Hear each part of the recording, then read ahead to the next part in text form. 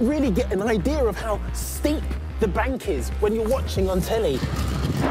It's not a bank, it's a wall. Here comes Libby. Fancy a race? I'd really like to, but um, I haven't got the right shorts. Luckily, we're here to test our fitness trackers, not compete with each other. And because I need all the help I can get, I'm sporting the biggest name in fitness tracking, Fitbit. This is the Charge 5. Well, I've got a much cheaper band from Xiaomi costing just $39.99. But whose has the better spec?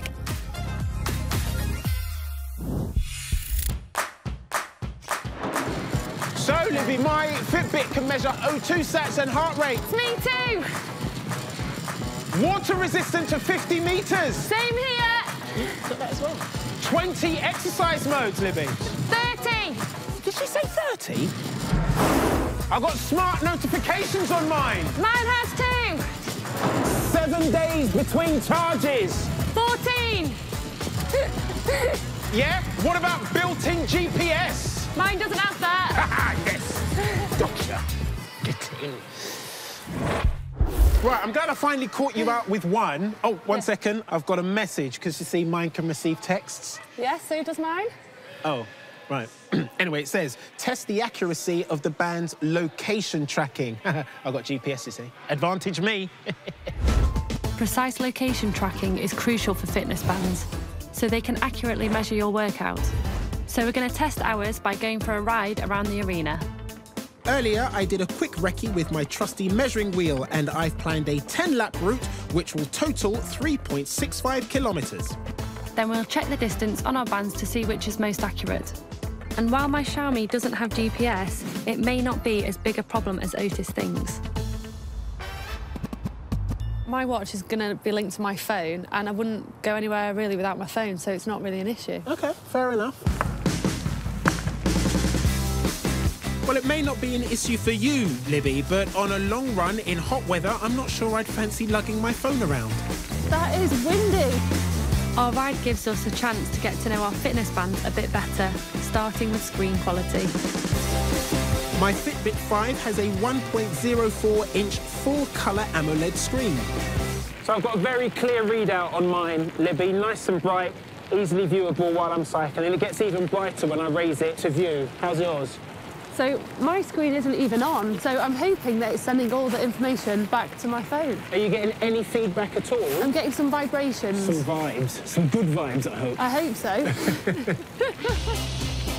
Was my Xiaomi having a slight malfunction, or had I put it in the wrong mode? No pedalling required at all. No. Just getting carried along by the wind here. I wonder if it's saying though that we're doing the calories for it.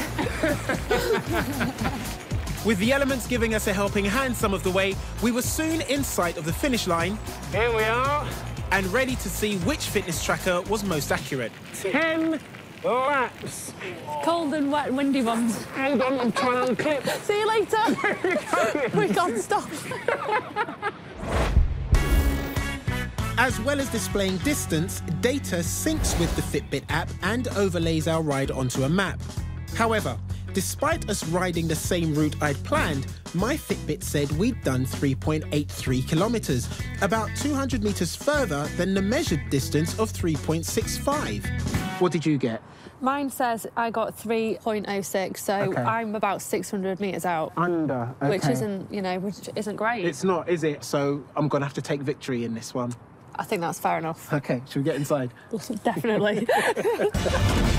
So, with a more accurate measure of distance, it's 1 0 to my Fitbit. But don't get ahead of yourself, Ortis, because next we're heading to the gym for challenge two. Ah, Libby, the old, yeah, once upon a time. well, do you I, fancy I it? fancy it, go. Yeah, do you? I don't All mind a bit of boxing. Oh, wait, no. You're going to have to hold on a minute. Build up a sweat to test how comfortable your fitness bands are. Fitness bands are designed to be worn 24 7 and deal with sweaty workouts. So, to avoid skin rashes and irritation, a comfortable fit and quality materials are imperative. You ready to get a bit of a sweat on? Yes, I am, but I'm just going to check my daily readiness because that will tell me whether I'm truly ready. The Fitbit Readiness Score claims to measure how ready you are for exercise, giving you a score out of 100. I have something similar on my watch called PAI. Right. PAI, or Personal Activity Intelligence, gives you points for an activity. And the aim is to hit a score of 100. Mine's free. You have to pay for yours, don't you? Yeah, I do. Well, for the first six months, it's free, and then I've got to pay seven ninety nine because it's part of the premium package. And it's actually telling me that I have really low readiness. So, can I go put my feet up? No, come on. All right. Let's give it a go. All right, go on in. You start. To build up an accurate picture of our vital stats, we've been wearing our trackers for a few days, so now have baselines for resting heart rate, sleep patterns, and typical exercise regimes. Is my knuckle split? There, is that? It's like carpet burns, eh? And when you're wearing them all the time, it's important that they're really comfortable and don't snag on things or get in the way. My Fitbit weighs 28 grams and it comes in three colours. This is steel blue. It's got a stainless steel case and the design is very smooth and streamlined.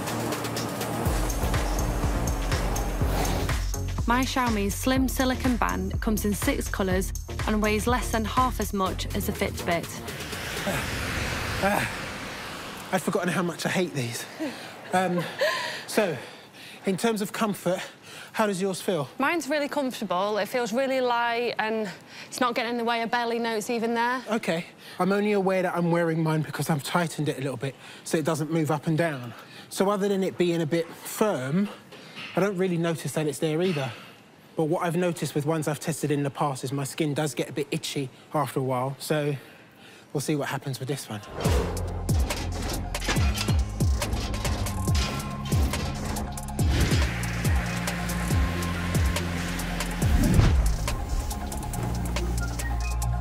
So at this stage, Libby, we've had the watches for a while. I'm still finding it quite comfortable. There's no itch.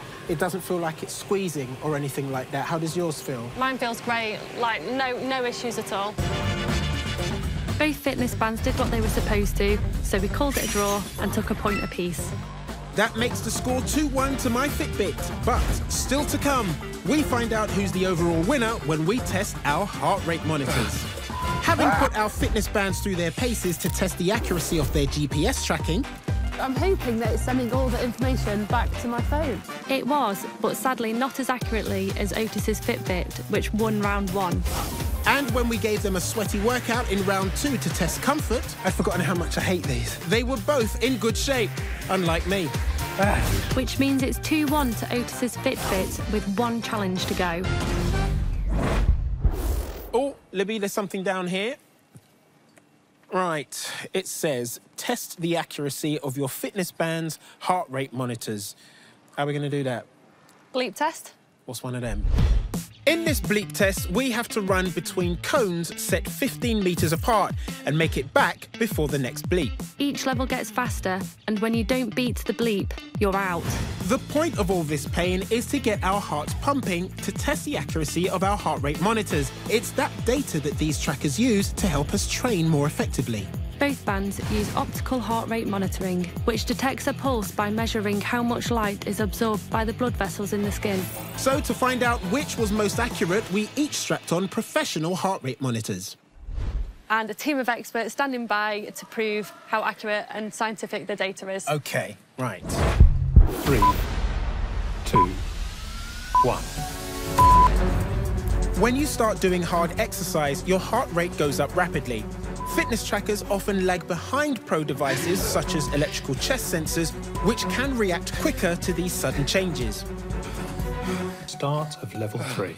Oh, I haven't run since Tokyo. When we get to the end of the test, we'll compare the two sets of results and find out which tracker matches the electrical monitoring more closely. Level five. Oh my gosh.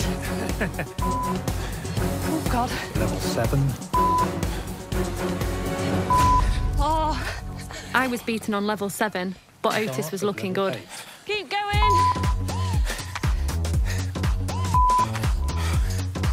Level ten.